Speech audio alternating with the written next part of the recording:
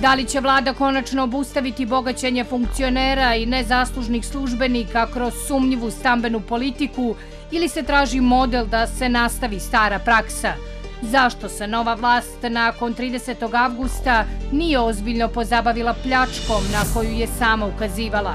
Da li je kasno da se država namjeri u slučajevima nezakonite dodjele stanova i stambenih kredita i koliko nas je takva dugogodišnja praksa koštala?